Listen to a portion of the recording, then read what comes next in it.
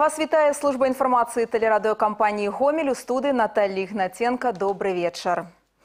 Завяршыўся дзелавы візіт афіцыйнай дэлегацыі гомельскай вобласці ў італьянскую рэспубліку. Прадстаўнікі ўлады бізнес-колаў гомельшчыны напярэдадні наведалі парму. Візіт меў практычную накіраванасць. Нашы корэспандэнты перадаюць з Італіі. Адміністратыўны цэнтр парма рэгіёна Эмілія Рамані на працягу доўгай гісторыі інакш як шыкоўным і квітнеючым не называлі. Горад вабіць турыстаў цудоўнымі храмамі і палацамі, за іх парму часам называюць італьянскія афіны. Члены гомельскай дэлегацыі ў рэгіёне знаёміліся з сельскай гаспадаркай і пераапрацоўчай вытворчасцю. Яна тут развівалася з часоў рымскай імперыі. Буйную рагатую жывёлу на апенінах разводзяць з другога стагоддзя да нашай эры і ў прамысловых маштабах вырабляюць сыр і тварог. За знакаміты на ўвесь свет пармезан і мясцовую вяндліну пад назвай прашута парму называюць гастранамічнай сталіцай краіны.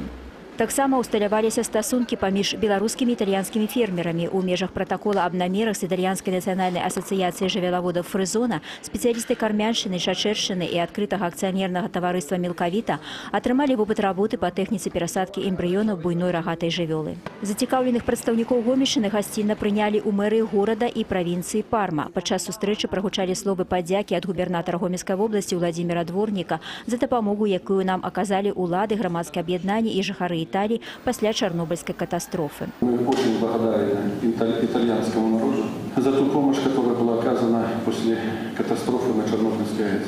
per quell'aiuto che è stato reso alla Bielorussia dopo la catastrofe di Chernobyl.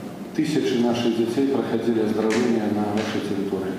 Migliaia dei nostri bambini hanno attraversato periodi di risvegliamento nel vostro territorio. За что мы вам очень благодарны.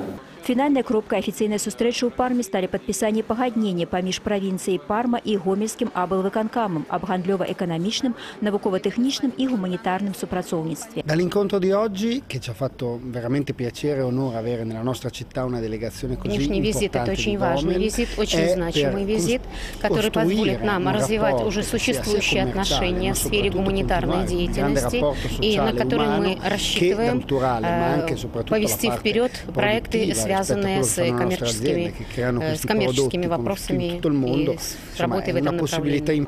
Падчас візіту ў правінцыю парма вытворцы наведалі традыцыйныя прадпрыемствы па вытворчасці сыра пармезан і вяндліны прашута. Кіраўніцтва прадпрыемства па вытворчасці вяндліны выказала пажаданне прыехаць да нас у вобласць дзелавым візітам. Губернатар рэгіёна з задавальненнем запрасіў наведаць наш рэгіён. Не ўсё, што пабачылі гамельчане на апенінах, можна ўвасобіць на беларускай зямлі, але ж карысныя урокі атрымалі. Як будзе выканана хатняе заданне, спытае губернатар вобласці Уладзімир Дворнік. Час пакажа, наколькі атрымалася замацаваць дзелавыя стасункі і ўвасобіць у жыццё перадавы вопыт італьянскіх сельгасвытворцаў. Вольга Рабікова, Александр Александронец, Італьянская рэспубліка, Парма. Да іншых тэм. Аграрыі вобласці працягваюць актыўную працу на палетках. На дадзены момант да ўборкі зерневых і зернебабовых прыступілі ва ўсіх раёнах Гомельшчыны. Па аператыўных дадзеных на сённяшнюю раніцу агульны намалот збожжа складае больш як 42 тысячы тонн. Убрана 6 процентаў ад запланаваных плошчаў. Сярэдняя ўраджайнасць зараз складае 21 цэнтнер з гектара. У лідарах па намалоту зерня аграрыі рагачоўскага, рэчыцкага і жлобінскага раёнаў. Першымі па тэмпах уборкі зноў жа ідуць кампайнеры рагачоўскага, а таксама брагінскага раёнаў. Тут уборачныя работы завершаны на 13% палеткаў. Да таго ж у чатырох раёнах, а менавіта ў веткаўскім, калінкавіцкім, лоеўскім і рэчыцкім поўнасцю ўбралі азімы рапс. Завтра 18 ліпеня на Гомельшчыне працягнецца практыка прамога дыялогу з жыхарамі вобласці. У суботу пройдуць чарговыя тэлефонныя лініі. У нашым рэгіёне на пытанні грамадзян будзе адказваць намеснік старшыні гомельскага аблвыканкама Олег Михайлович Пачынак. Нумар тэлефона прамой лініі 75 12 37. Званкі прымаюць з 9 до 12 гадзін. У гомельскім гарадскім выканаўчым камітэце 18 ліпеня прамую лінію правядзе намеснік старшыні Сергей Яўгенович Андрэяў. Звярнуцца можна па нумары тэлефона 75 63 33.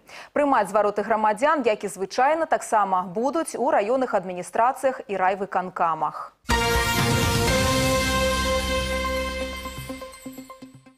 Даволі часта на дарогах адбываюцца так званыя лабавыя сутыкненні машын. Прычына заўсёды адна парушэнне правілаў абгону. Паўгадавая статыстыка гомельскай дзяржаўтаінспекцыі дае такія лічбы: 12 лабавых ДТЗ, дзе загінулі 7 чалавек, 10 атрымалі пашкоджанні рознай ступені цяжкасці. Гэта ў параўнанні з адпаведным перыядам мінулага года менш амаль удвая, але ж нармальным становішча, дзе ёсць чалавечыя ахвяры назваць нельга. І прычына амаль адна ва ўсіх выпадках не неуважлівасць парушэння правілаў абгону. Дарэчы, усяго ж з пачатку года на дарогах гомельшчыны загінулі больш за паўсотні чалавек. Большая частка гэта пешаходы 22 чалавекі. Другое па цяжкасці парушэння наезд на перашкоду. Па гэтай прычыне загінулі 10 чалавек. На шчасце, у апошнім выпадку дарожна-транспартнае здарэнне завяршылася без смяротных наступстваў. А на дарозе ў рагачоўскім раёне сустрэліся два транспартных цяжкавагавіка. Водитель автомобиля МАЗ с полуприцепом на закруглении дороги Минск-Гомель не справился с управлением грузового автомобиля, выехал на встречную полосу движения, где совершил лобовое столкновение с автомобилем ГАЗ. В результате данного дорожно-транспортного происшествия водитель автомобиля ГАЗ и 39-летняя пассажирка получили телесные повреждения и были госпитализированы в больницу. Хотелось бы напомнить всем водителям транспортных средств, что необходимо соблюдать скоростной режим и правила маневрирования. А также водители грузового транспорта должны всегда помнить об ограниченной маневренности своих транспортных средств. У гомельскім абласным драматычным тэатры адбылася прэм'ера спектакля на ўсякага мудраца даволі прастаты па матывах п'есы Александра Астроўскага. Які жыццёвы шлях выбраць, як хутка пабудаваць кар'еру і заваяваць становішча ў грамадстве, а затым не страціць рэпутацыю. На гэтае і многія іншыя пытанні можна знайсці адказ падчас прагляду спектакля. Камедыя адлюстроўвае, мяняецца час, а норывы людзей разам з тым застаюцца ранейшымі.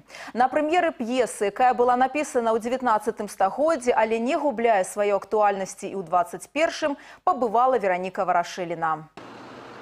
Па традыцыі адкрыццё і закрыццё тэатральнага сезона ў гомельскім абласным драматычным тэатры адзначаецца прэм'ерай. Нягледзячы на сезон адпачынкаў у зале аншылах. Перад спектаклем урачысты момант. Узнагароджанне прадстаўнікоў шэрагу сродкаў масавай інфармацыі за паспяховае супрацоўніцтва ў 76-м тэатральным сезоне. Дарэчы, падзяку ад абласнога драматычнага тэатра атрымаў і калектыў телерадыёкампаніі «Гомель». Спасибо вам большое. Надеюсь на дальнейшее сотрудничество, Для завершэння чарговага тэатральнага сезона была абрана прэм'ера спектакля на ўсякага мудраца даволі прастаты па матывах п'есы Александра Астроўскага. Па сюжэце разумны і дальнабачны малады чалавек Ягор Глумаў, стомлены беднасцю, неўладкаванасцю, прымае рашэнне зрабіць кар'еру і хутка выбіцца ў людзі. Шляхам лісцівасці і дагаджальніцтва ён уціраецца ў давер уплывовых асоб і даволі хутка рухаецца да вызначанай мэты. Каб неяк суцешыць сваё самалюбства, Глумаў вырашае весці дзённік, у якім высмейвае і здзекваецца над сквапнасцю і глупствам тых, з чыёй дапамогай мае намер паскорыць свой шлях з гразі ў князі. Але аднойчы саркастычны дзённік трапляе ў рукі грамадскасці. Камедыя высмейвае цынічны разлік і нізкія ўчынкі маладога Ягора Глумава і яго сваякоў саўдзельнікаў сталага ўзросту. Яна таксама адлюстроўвае, мяняецца час, але норавы людзей застаюцца ранейшымі. П'еса не губляе сваёй актуальнасці і зараз, бо ў жыцці далёка не заўсёды мэта апраўдвае сродкі. Те жертвы, которые мы приносим, не всегда имеют ту цену, ради которой стоит добиваться этой цели. Иногда финал становится печальным, потому что многое, то, что ты оставил за своими плечами друзей, свои нравственные принципы, мораль, не дают возможности насладиться достигнутым результатом. У цэлым 76-й тэатральны сезон для калектыву гомельскага абласнога драматычнага тэатра быў дастаткова насычаным. Шматлікія гастролі, прэм'еры, правядзення 12 міжнароднага фестывалю тэатральнага мастацтва, славянскія тэатральныя сустрэчы а таксама святкаванне 75гадовага юбілея тэатра. Дарэчы, і наступны тэатральны сезон абяцае быць даволі насычаным. Гледачоў чакаюць цікавыя прэм'еры, праекты і мерапрыемствы. Сейчас готовится премьерный спектакль, которым мы будем открывать новый сезон. Приехала молодая режиссер, которая готовит спектакль где поднимаются темы и проблемы молодежи. Также готовим в октябре парад премьер. Будет у нас целая неделя, где будут выстроены все премьерные спектакли. И э, на следующий год э, парад сказок. У нас будут новые сказки и планируем новогодние мероприятия для взрослых, не только для детей. И продолжаем работать над э, музыкально-театральным своим салоном. Вероника Ворошилина, Игорь Марышченко, телерадиокомпания «Гомель». У абласной універсальнай бібліятэцы імя Леніна адкрылася персанальная выстава гомельскага фотографа Артёма Якубенкі. Экспазіцыя прадстаўляе сабой каля 20 фотаздымкаў, зробленых аўтарам на працягу яго прафесійнай дзейнасці. Выстава праходзіць у рамках маладзёжнага праекта «Пакаленне мы», і які ў гэтым годзе праходзіць у абласной бібліятэцы імя Леніна па ініцыятыве яе супрацоўнікаў. З моманту яго старту ва ўстанове ўжо пабывалі танцевальныя калектывы, музыканты і паэты. Зараз усе жадаючыя змаглі пазнаёміцца з незвычайным і чароўным светам фатаграфіі. Свае творчыя работы прадставіў малады гомельскі фотограф Артём Якубенко. Фотамастак рабіў свае шэдэўры на працягу прафесійнай дзейнасці. На здымках увасоблены разнастайныя моманты і падзеі, якія хвалююць аўтара. Сытна паесці, смачна перакусіць і прыемна правесці час. У Гомелі адкрыўся рэстаран хуткага абслугоўвання «Бургер-майстер». Ён размясціўся па адрасе прывакзальная плошча 1. Наведвальнікам тут прапануюць шырокі пералік разнастайных сэндвічаў, салатаў, закусак і прысмакаў, а таксама гарачых і халодных напояў. Падрабязнасці ў нашых карэспандэнтаў. Это уже четвертый в Беларуси и первый в Гомеле ресторан быстрого обслуживания «Бургер Мастер». Здесь в уютной атмосфере можно приятно отдохнуть и сытно перекусить. Меню ресторана способно удовлетворить запросы даже самого требовательного клиента. У нас есть сэндвичи с курицей, с рыбой, с говядиной. Огромное количество десертов. От кексов до мороженого вкуснейшего. Холодные напитки, горячие, прохладительные напитки. В наличии также салаты, закуски, гарниры и киндермилы с сюрпризом для детей. Отличительная особенность ресторанов «Бургермастер» в качественном и быстром обслуживании своих клиентов.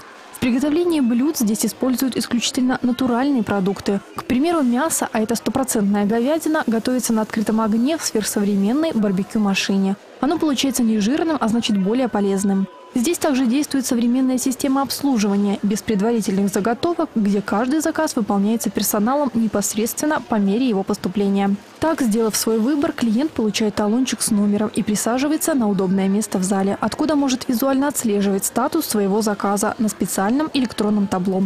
В среднем выполнение заказа занимает не более двух-трех минут. Уютный интерьер заведения, приветливый обслуживающий персонал и вкусная еда оставят у вас только приятные впечатления. Спешите посетить ресторан быстрого обслуживания «Бургер Мастер». Он разместился по адресу Привокзальная площадь 1 и работает с 8 до 23 часов. Вероника Ворошилина, Игорь Марищенко, телерадиокомпания «Гомель». Вы глядзелі навіны рэгіёна на першым. Наш наступны выпуск выйдзе ў эфір заўтра ў 15.10. Да сустрэчы.